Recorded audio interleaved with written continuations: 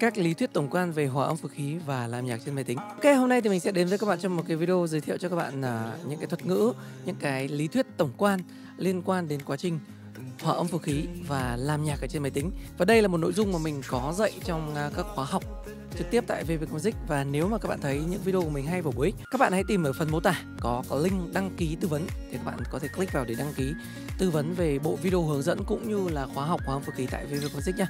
Còn bây giờ thì let's go, chỉ đó thôi.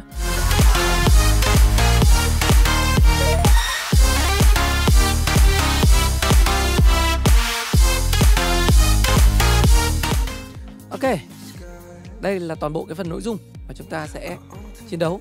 Chúng ta sẽ lướt qua những cái nội dung mà chúng ta cần nắm được trong quá trình hòa âm phối khí trên máy tính cũng như là làm nhạc trên máy tính. Đầu tiên là thuật ngữ DAW, viết tắt của Digital Audio Workstation. Được hiểu nôm la là ứng dụng làm việc với âm thanh ở trên máy tính. Thì nếu mà dịch sát nghĩa nó sẽ là không gian làm việc với âm thanh kỹ thuật số. Thì ấy thì nó gọi là các ứng dụng làm việc với âm thanh trên máy tính thì nó sẽ chia ra gồm có phần mềm thu âm, phần mềm chép nhạc, phần mềm soạn nhạc, phần mềm chỉnh sửa âm thanh, phần mềm hóa âm khí hay phần mềm DJ. Tất cả làm việc với nhạc kỹ thuật số đều gọi là DAW, DFK. Tiếp theo, MIDI là ngôn ngữ chung của các, tất cả các DAW. Thì bình thường là FL Studio các bạn thấy khi mà xuất file ra có thể file code nó là FST, FLP hay tất cả mọi thứ. Tuy nhiên thì các phần mềm khác không đọc được. Còn MIDI nó là ngôn ngữ chung. Các bạn có thể xuất ra cái phần viết cái phần soạn cho từng nhạc cụ, phần phối cho từng nhạc cụ, hay là phần cấu trúc của bản nhạc. Thì các bạn có thể xuất ra file MIDI. Để gửi đến các phần mềm khác thì MIDI nó là ngôn ngữ chung. Tiếp theo, cụm từ project hoặc PJ là dự án hoặc bản phối. ID hoặc idea là ý tưởng và dự án thử nghiệm, thường được trình bày dưới dạng project. Nghĩa là khi mà các bạn mở FL Studio lên, các bạn nhìn thấy cái gì thì đấy nó gọi là một cái dự án. Khi mà mình gửi một cái dự án, một cái ý tưởng cho ai đó thì mình sẽ hướng đến cái việc là đó là một cái dự án là người ta có thể nhìn được cả phần lõi bên trong. Mình muốn làm những cái gì? Đó, thì đây là một cái dự án. Đây là một nửa bài. Đấy. muốn gửi cho người khác thì chúng ta gọi đây là một những cái ID hoặc idea ID đây là viết tắt của idea files nhé không phải là viết tắt của idea này luôn đâu. Tiếp theo, demo cũng là bản nghe thử. Dự án thử nghiệm nhưng mà dưới dạng âm thanh kỹ thuật số với âm thanh kỹ thuật số là MP3 hay VKV này thì các bạn hoàn toàn có thể được gửi cho anh em bạn bè những người không làm nhạc họ cũng có thể nghe được nha. Tiếp theo thuật ngữ mix là hòa trộn âm thanh. Cái này thì các bạn cần phải phải phải, phải gọi là cái gì? Clear. Uhm, tức là phải loại bỏ cái định nghĩa cũ của bạn. Mix ở đây là trộn âm thanh vào với nhau. Và mục đích lớn nhất của việc trộn âm thanh vào với nhau là để âm thanh những sao và âm thanh của chúng ta hòa quyện với nhau chứ không phải là làm cho cái sao nó hay hơn. Cái sao nó hay hơn thì nằm trong quá trình edit hoặc là design sao. Đó các bạn nhớ phần này nhá. Thì cứ hòa quyện là đã xong rồi. Đừng có là hòa âm phối khí âm thanh từ các nhạc cụ các bạn dở vẫy trở xong bắt mấy ông mix master làm cho nó hay âm thanh nó hay. Không có. Mà master là quá trình đóng gói và hoàn thiện sản phẩm nó sẽ phù hợp với từng nền tảng phát hành nhạc. Đó, chứ không phải là quá trình làm cho nhạc căng lên làm cho nhạc nét lên làm cho nhạc to lên thì nó không phải là cái định nghĩa chuẩn. Thế thì đồng gói và hoàn thiện sản phẩm ví dụ như là chúng ta đánh DJ chúng ta phải có master một bản riêng. Chúng ta đánh up lên YouTube chúng ta có một bản riêng và chúng ta lưu ở trên máy tính của chúng ta để nghe bình thường thì chúng ta sẽ có một cái bản riêng. Đấy là tối ưu quá trình. Các bạn tưởng tượng nó cũng giống như kiểu đóng gói một cái bánh ấy. Đấy, một cái bánh trung thu chẳng hạn. Ví dụ như là khi mà các bạn làm các bạn là người làm bánh ấy các bạn làm ra một cái bánh và các bạn muốn là để ở nhà cho con cháu ăn thì có khi chỉ cần bỏ ra đĩa thôi. Đi tặng anh em bạn bè thì cần một cái túi.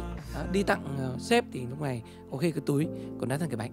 Thì lúc này thì chúng ta sẽ cân nhắc để xử lý cái sản phẩm. Mặc dù cái lõi nó vẫn là cái bánh thôi nhưng mà chúng ta sẽ cân nhắc để quyết định cái phần cái vẻ bề ngoài cái phần gọi là cái cái, cái, cái phần cuối cùng ấy mà người ta tiếp nhận được. Đó là tổng quan và hòa âm phối khí trên máy tính. Những cái thông tin mà các bạn cần nắm được. Tiếp theo là các thành phần ở trong bản phối bản phối khí. Thì đầu tiên là cái thuật ngữ, nếu mà các bạn dùng FL thì nó là VST plugins. Thì nó sẽ có hai cụm từ mà các bạn dùng sai rất nhiều đầu tiên là plugins. Các bạn tưởng tượng này, các bạn có một cây guitar là một cái phần mềm riêng không nằm trong FL nhé các bạn có một cây guitar của hãng thứ ba. Và các bạn muốn cài nó, cài vào trong FL Studio. Thì các bạn, thì cây guitar đấy nó gọi là một cái plugin. Dịch ra nó là trình cắm. Nhưng mà nghe nó hơi khó chịu không dịch uh, thuần việt ấy. Word by Word nó là trình cắm đơn giản là là là bạn có cây guitar. Không có trong nghĩa bèo bạn muốn cài vào thì cây guitar đó chính là plugin. Và VST ở đây các bạn thường hay dùng cái cụm từ VST để thay thế cho cái plugin này nha. Nhưng mà thực ra không phải. Khi mà các bạn nói chuyện với những người mà làm bằng DAW khác tức là làm bằng phần mềm khác ấy thì khi mà các bạn dùng từ VST có khi người ta không hiểu đâu. VST ở đây nó là giao thức để kết nối các phần mềm độc lập lại với nhau. Tức là bây giờ các bạn có cây guitar và các bạn có FL Studio. Thì cách để bạn kết nối hai cái đó với nhau đó chính là cái giao thức VST có những cái phần mềm khác sử dụng giao thức kết nối là AU có những phần mềm khác sử dụng kết nối là AAX chứ không phải VST các bạn tưởng tượng nó giống như kiểu dây sạc USB ấy. USB Type-C này, USB Lightning này và USB Micro USB hay là à, gọi là cáp Android đấy. Đó thì nó cũng là sạc thôi, nó cũng là USB thôi. à, nhưng mà các cái giao thức khác nhau, ờ, cắm cổng khác nhau. Thì nếu mà an toàn nhất là các bạn cứ gọi plugin ấy thì tất cả các phần mềm đều hiểu, dân làm việc đều hiểu. Trong các plugin thì chúng ta sẽ chia ra đầu tiên là nhạc cụ ảo, nhạc cụ thật. Các bạn mô phỏng lại thì nó gọi là nhạc cụ ảo, virtual stereo instrument tiếp theo là các synth là các nhạc cụ điện tử nhạc cụ điện tử là nó phát ra âm thanh điện tử tất nhiên là, là những âm thanh được tính toán hoàn toàn trên máy tính mà âm thanh chúng ta không được nghe được ngoài cuộc sống. Không một nhạc cụ nào ngoài cuộc sống chơi ra. Và cuối cùng là các effect như là delay này reverb này. À, ví dụ giọng của các bạn đi hát karaoke các bạn cần nó nhại đúng không? Để hát để cho nó vọng lại cho nó đỡ khô cho đỡ mệt đấy. Hoặc là gọi là điều chỉnh bát tép đấy thì nó là effect. Là các phần hiệu ứng. Tiếp theo sample là các mẫu âm thanh số. Đây các sample là mẫu các mẫu âm thanh người ta soạn sẵn như thế này. Khi mà các bạn click vào nó phát ra âm thanh luôn. Chậm